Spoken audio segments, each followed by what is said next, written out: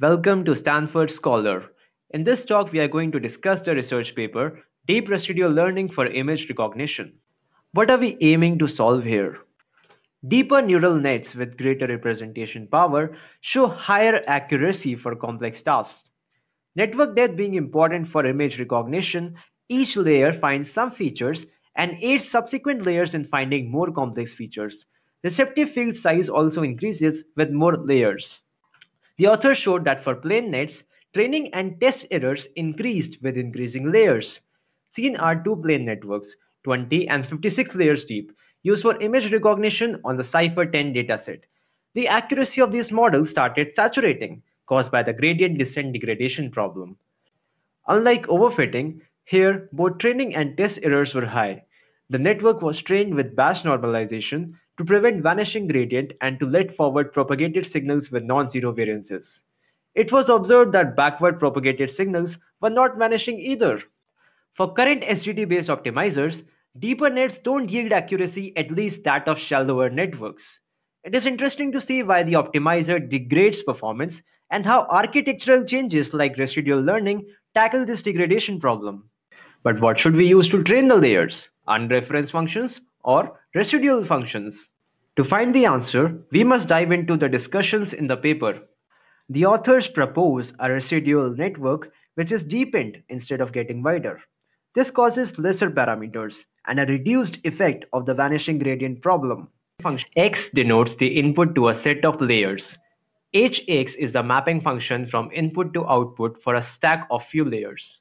Instead of directly learning hx, the authors propose that the residual fx equal to hx minus x can be merged with the original input to recover hx.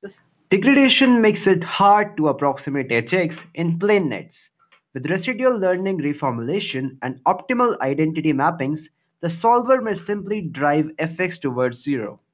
In shortcut connections, a few intermediate layers are directly connected to auxiliary classifiers for addressing degradation and vanishing gradient problems. Now let's see some primary contributions of this paper. The authors showed that residual learning can be used to optimize the training of deep networks, avoid degradation problem, and decrease error rate for deeper networks.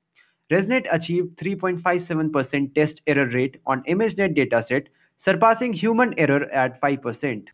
The ResNet finds good application in real world. Let's look at some of them. The technique's huge success, visible by its win over some major crucial competitions, will mean a great boost to applications such as medical image analysis, space and satellite image processing. Let's look at the approach and the architecture taken by authors.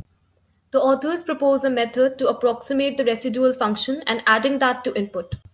They introduce the concepts of zero padding and linear projection to tackle the cases when there is a dimension mismatch. The authors have discussed plain networks, which are similar to previous architectures like VGGNet. The model has various operations like convolutions, pooling, batch normalizations, ReLU layers, and softmax. Taking plain networks as a base, shortcut connections were added. Let's find out some methods used by authors for evaluation. The authors train plain and residual nets, each 18 by 34 layer CNNs. The error increases for plain networks when depth is increased from 18 to 34, while it reduces in residual nets with increased depth. Error rate of ResNet is lower than plain net. The authors compared A. Zero padding, B. Projection shortcuts used for increasing dimensions, and C. All shortcuts as projections. The accuracy of C greater than B greater than A but marginal differences indicated that projection is not important for addressing degradation problem. Experiments showed that the residual networks performed much better than existing nets and the degradation problem was solved. Depth of ResNet for best accuracy is over four times deeper than previous deep nets and is only limited by hardware capabilities. Lastly, the authors trained 20 to 56 layer plain nets and ResNets. ResNets again outperform plain nets on CIFAR. Responses after BN were analyzed, showing that ResNets had smaller magnitude responses, indicating small perturbations to identity function. It was observed that the optimization is easier, very deep ResNets are not immune to overfitting. Let's look at some findings and results of this paper. The paper reported some significant findings which gave insights about causes of degradation and optimizing learning residual functions which train deeper nets. Let's have a look back at the questions and see if they were answered. There was a significant change in the number of layers with the introduction of ResNet, with great results proving that the deeper the better, and the new ResNet architecture helped up with the degradation problem. ResNets help build deep models with reduced degradation. Complex image features can be easily extracted using ResNet as we can have thousands of layers with each extracting a different feature without losing accuracy. Thanks for watching.